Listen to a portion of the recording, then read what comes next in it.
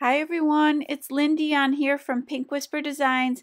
Today we're going to make this fun little hexagon shaped card and we're also going to be using the Jane Davenport Mermaid markers to do our coloring today. So let's go ahead and get started. So for stamps today we're going to be using these three little chicks from this set as well as the flower and that little sprig as well. This set comes with the coordinating dies and it's called the Easter Chick Set. Now for paper, I'm using the Strathmore Bristol Smooth 100 pound cardstock. I've gone ahead and placed that in my Mini Misti stamp positioner, and I'm going to ink that up with some VersaFine Onyx Black ink. Off camera, I stamped several more of the flowers and the little sprigs. I'll go ahead and stamp this a couple of times just to make sure I get a nice crisp image. Now to color these in, we're going to be using these beautiful water-based markers from Jane Davenport. And these are called the Mermaid markers. And you get a dozen of these in the set. We're going to start with the beach and the pirate's gold. And for blending, I'm going to be using a water brush. This is a Tim Holtz uh, detailer tip water brush. So to get these started, you just squeeze a little bit on your scrap paper and that'll get the ink flowing. So if it gets a little dry, just squeeze the barrel of the marker and release a little bit more of that ink. You do want to test it on your scrap paper before you go to your image. And if there's a little too much flow, you can always just dab it off on a paper towel. I'm going to grab this starfish color as well. I'll scribble a little bit on my acrylic block and just dab off a lot of the excess. I just need a little tiny bit here for the cheeks. And then I'll just blend that out with the water brush. Now if you get a little too much water there, you can just dab that off with a paper towel and continue blending. So I'm going to go ahead and blend this out. Now you could certainly blend with the markers themselves. So you could blend with that lighter beach color. I just found it a little bit more, I had a little more control with the water brush. And you could also just use a paintbrush with water on it if you feel like you have even more control with that as well. So again, I'm going to add that lightest color that beach color and then come in with the Pirate's Gold and just add my shadows. And again, these are water-based pens. They're much wetter, I would say, than a zig marker because I normally work with the zigs. This is just got a little bit more ink, a little bit more flow to it. So again, you do want to be a little more careful in making sure that you don't get too much ink. So I'm going to continue adding some shadows here. And of course you could just add the color by just scribbling it on an acrylic block and then picking up that color and coloring in your images, kind of like you saw me do with the cheeks there. And I've added a little bit of the coral color to add a little shading to the chick's feet. And then I'll add a little bit of the pirate's gold to the beak and then I'll add a little bit of that coral color as well and blend those two right towards the tip. So I did all three of those chicks the same way. And you can keep coming back in with the, those colors and just adding more shadows if you need to.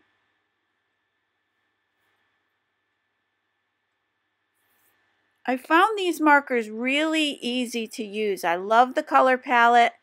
Um, they just really go on really smooth, very easy.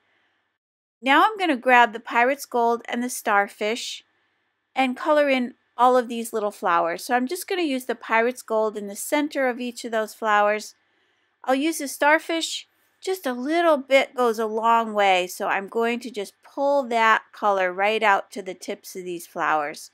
And if you get too much color on there, you can always scribble it on your scrap paper and you can remove ink that same way as well. Here I'm just going to dab it onto a paper towel. And I'll color all the rest of those in off camera. Now with seaweed and siren, I'm going to color in these little sprigs. So I'm starting with that lighter green. Then I'll just blend that out towards the tips And then I'll come in with a little bit of that darker green and just add a little shadow here. And I'll do all of those little sprigs the exact same way. So once that's all set, I'm going to grab the coordinating dies and I'll just tape those down with a little bit of purple tape.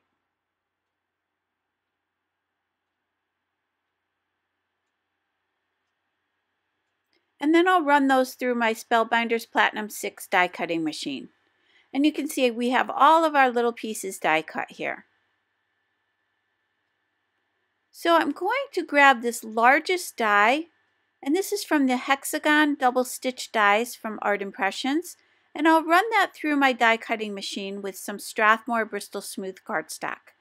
And with another piece of that same cardstock, I'm going to create a frame.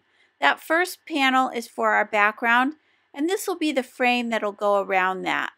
So I'm going to grab the second largest die and just make sure these are lined up really well, nice and evenly spaced. And I'm going to just tape the two dies together. I'm not taping it to the paper here. I'm just taping the dies together. And that's going to create the frame that we need for the front of the card.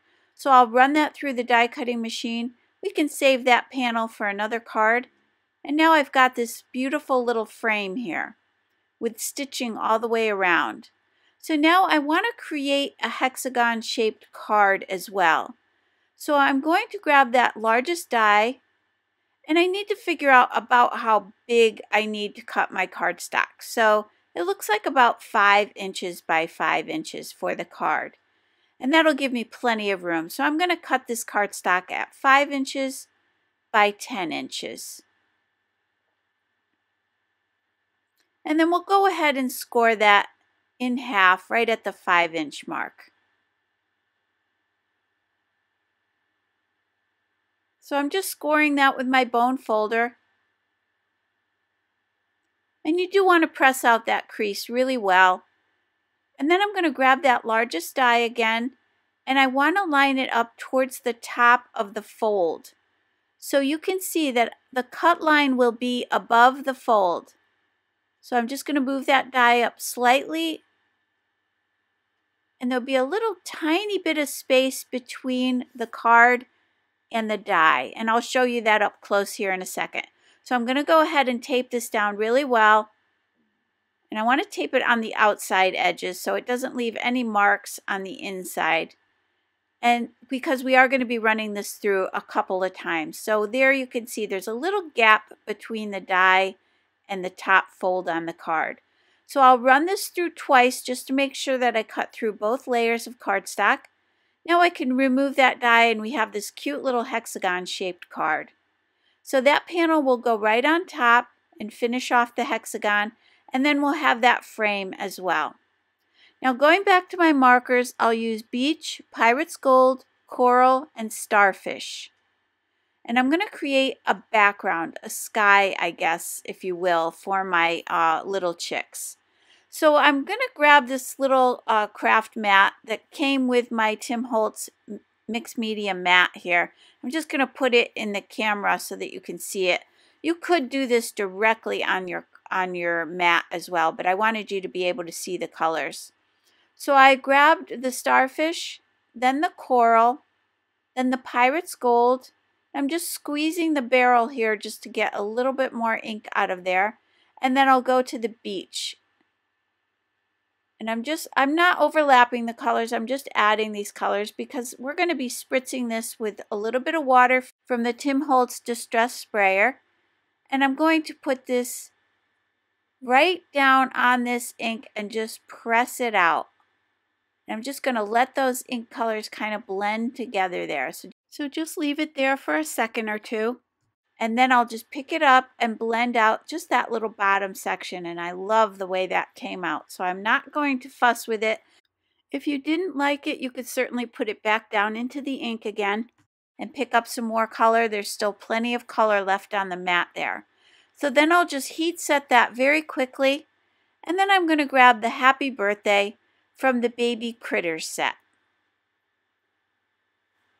And I've done another card with that set, which I will link to below for you as well. So now I've got that happy birthday sentiment Just going to position that up towards the top here and center it. I'll go back to the VersaFine Onyx Black ink and I'll stamp this a couple of times.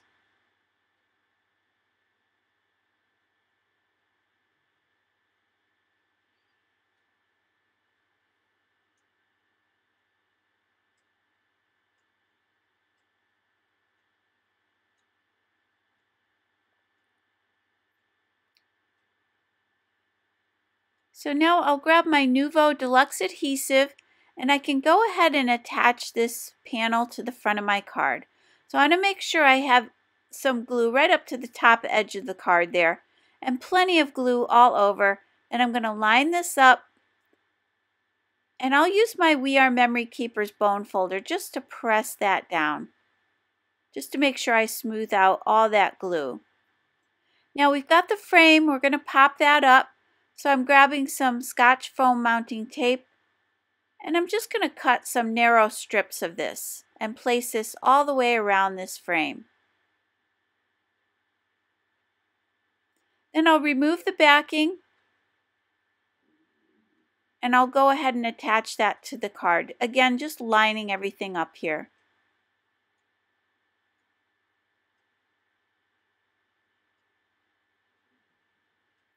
Now we can go ahead and add our three little chicks. And I did want to uh, pop them up a little bit, but first I'm going to add a little bit of some white gel pen from my Uniball Signo white gel pen. And I'm adding three little dots to each of the cheeks here. And that'll just make these little chicks just a little bit more whimsical. So now I can go back to the scotch foam mounting tape and just kind of figure out where I want to position these here. And I want them to be level with that frame. So again, I'm going to use that tape and I want to place a little bit towards one side here and then I'll place glue on the other side where it rests on that frame.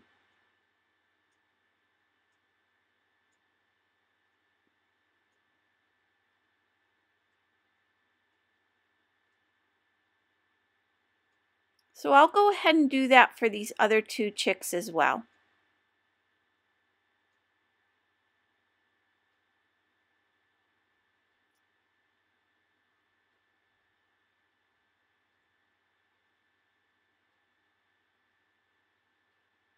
And for this one, I'm just going to put the tape right on the card. I just thought it was easier to figure out where that tape needed to be.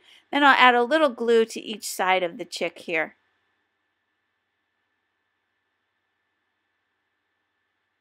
So now I can grab the little flowers and I'm going to put a flower on each of those little corners up at the top of the card here and also the little sprig. So I'm going to put a little sprig on each side of, of the flowers.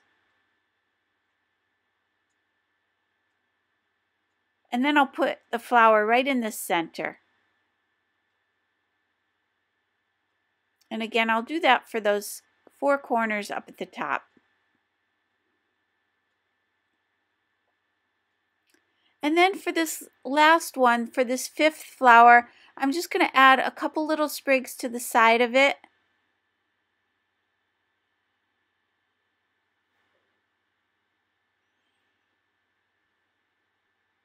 And then I'm going to place that right underneath the happy birthday.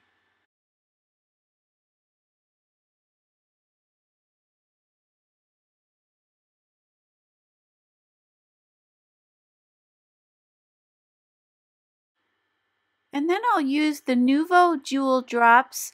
This is the orange marmalade.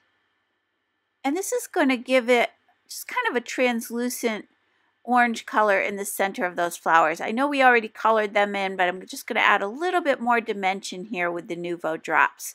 And then I'll use that same color on the beaks on these little chicks. So here we have our completed card. I just love the fun shape of this card and I had an extra flower left over which you could use on the inside of the card. If, when you add your sentiment on the inside it would be cute in there or on the envelope as well. So here's a closer look at that pretty background that we created and these inks I found very simple to use, Really beautiful colors. And here I did a little bit lighter tones with my background. So I didn't add as much of that starfish color. And I got a little softer background. So play around with your colors and have some fun. I hope you enjoyed today's video. If you did, please hit the like button and subscribe. And don't forget to visit me at pinkwhisperdesigns.com. Thank you so much for joining me today. Have a great day. Bye-bye.